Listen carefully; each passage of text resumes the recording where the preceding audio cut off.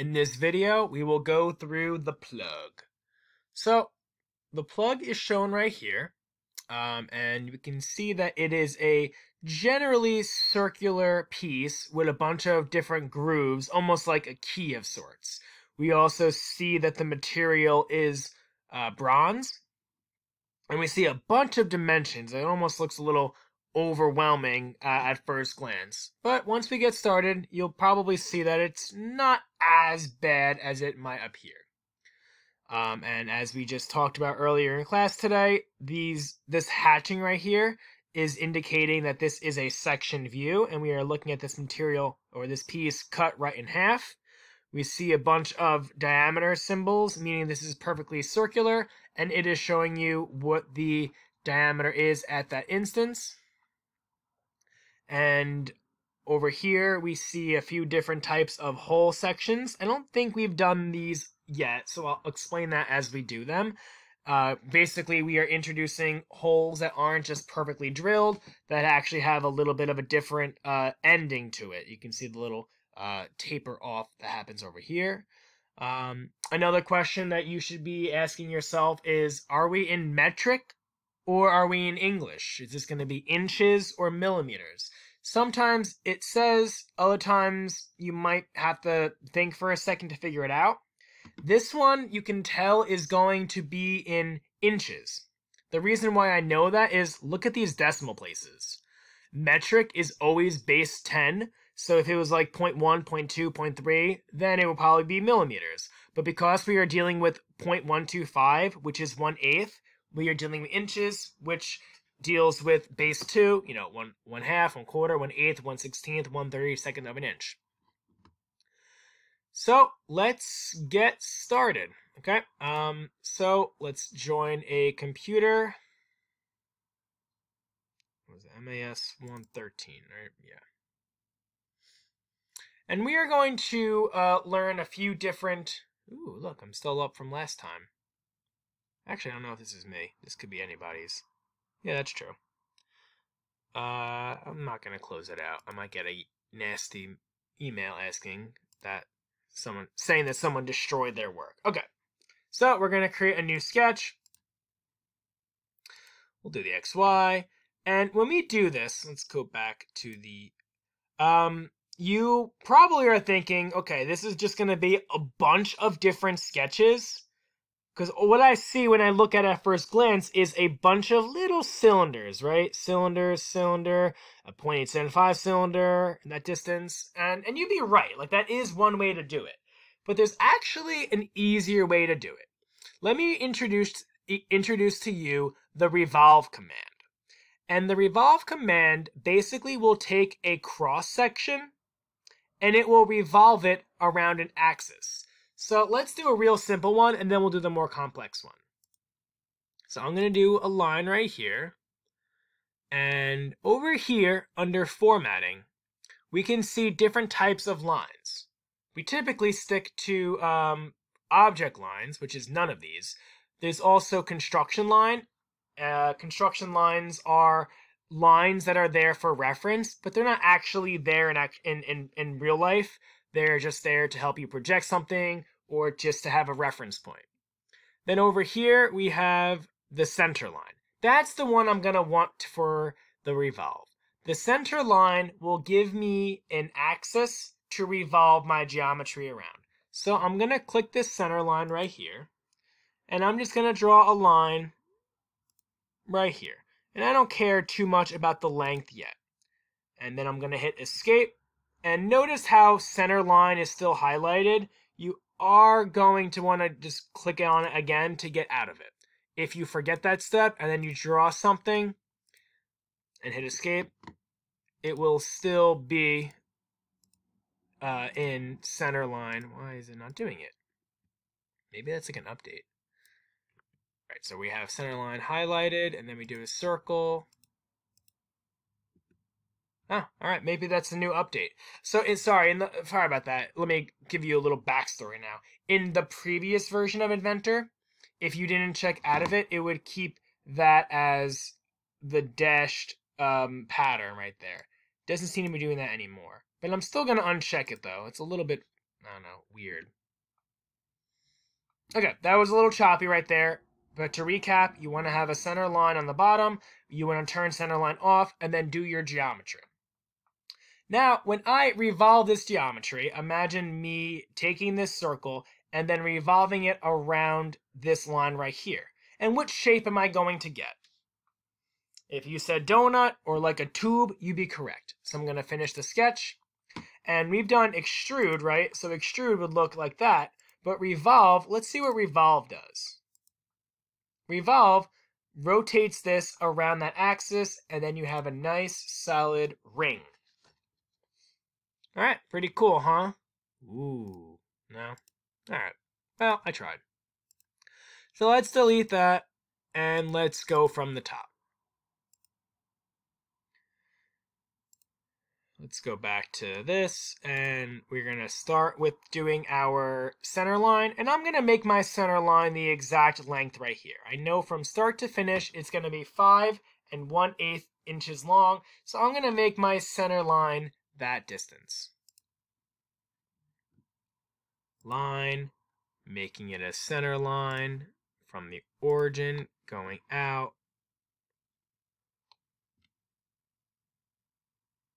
And you can either type this as 5 space 1 divided by 8. You can do 5.125. You can do 5 plus 1 eighth. All of them are valid ways. So you can actually type in mathematical equations into the, the dimension space right there. Okay. Good. So I'm going to uncheck that. And now what I'm going to do is I'm basically going to draw this shape right here.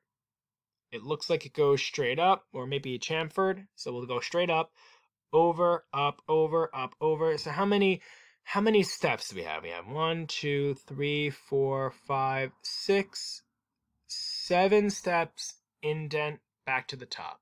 So I'm going to just draw that geometry and then I'm going to add the dimensions later. So in this instance, uh, what is this? Oh, I guess I just clicked on some random person stuff. Um, this one does have a hole in the middle. However, I'm going to do that hole at the end. So I'm going to draw my piece right on here, right? If I wanted to put like a gap right there, you could do something like that, right? And then when you, just kind of showing you what I mean, right? If I did something like that, and then I revolved it, you would have a nice little space in the middle. But if I put this right along the edge, then there won't be a space. It'll be right there. So that's what I want to do this time. So let me delete this.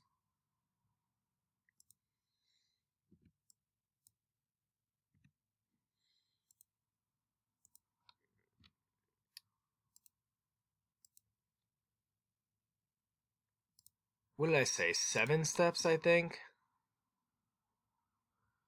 And you kind of want it to be a little bit close to like what the dimensions are. It does make it easier because then you don't have instances of it crossing each other. So that's one, two, three, four, five, six, seven. So it was seven steps and then it was down and then up.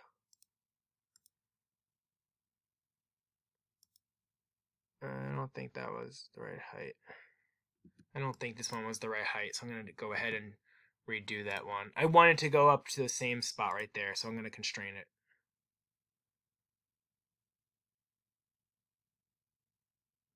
There we go.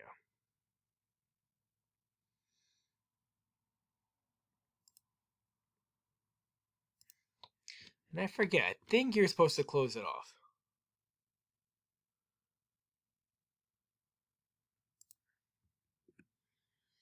Okay. So let's make sure we're good. We have one, two, three, four, five, six, seven steps down and then back up. Does that match this? One, two, three, four, five, six, seven steps down, then back up. All right, we are golden. Okay, now we are going to add some dimensions. So what makes this different is, so when we do the dimensions, we're going to click right here, and then you might be tempted to go from like here to right there. And that says 0.25. And because we know, for example, that that first dimension is right here, 0.375, the distance of the radius, which would be the dimension that I just shown right there, would be half of it. So if I know from top to bottom across that whole rotation is 0.375, the dimension that's shown right here is supposed to be half of it. However, there's actually an easier way. Uh, let me actually go ahead and delete that first line. Well, I meant to delete the, the regular line. I want to keep the center line. So I'm going to redraw that center line. You can always backspace, or um, I mean undo.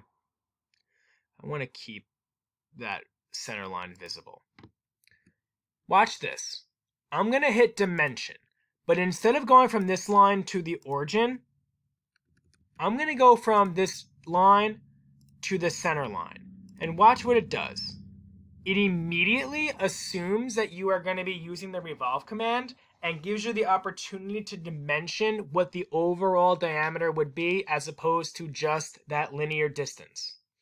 So I'm going to click right here and say it's 0.375. Boom.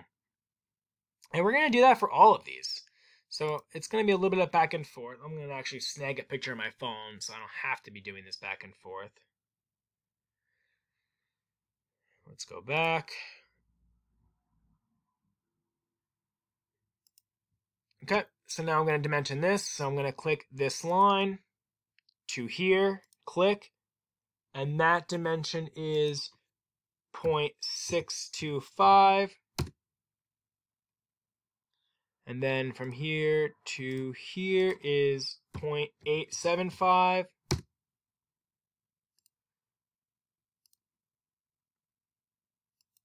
One point one two five.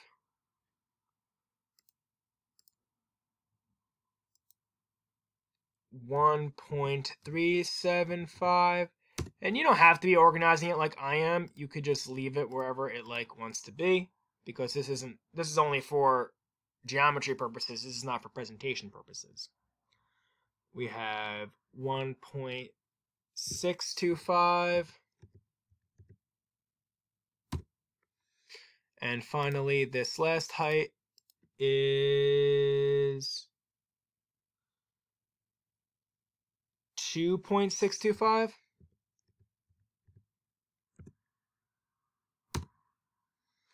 And then, oh, this little piece right here. So let's make sure we click on it to the center line is 1.875.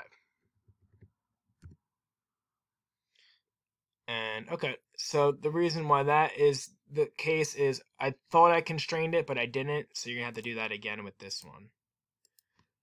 2.625. Okay. Now we have to do some of these linear dimensions. Ugh, this looks like it could be annoying. The hardest part about this is just kind of sifting through all the all the lines to make sure that you're doing the right thing. All right. So uh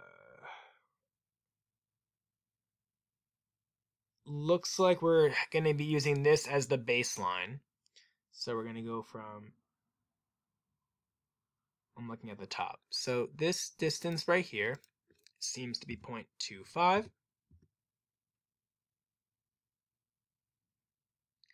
And let's make sure that we have the overall set to 5.25. We don't want to mess with that. From this line to this line should be 0.5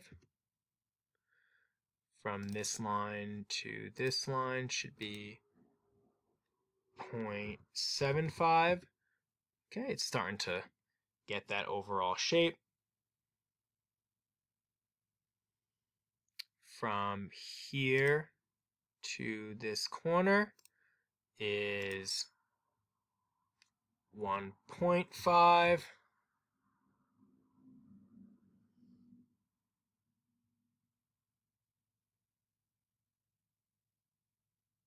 I'm trying to figure out what is that.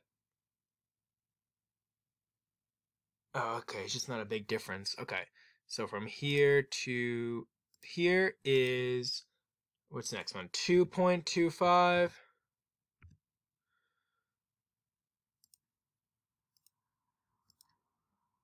Two point eight seven five.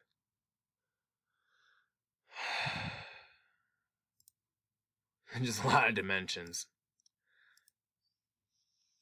3.625.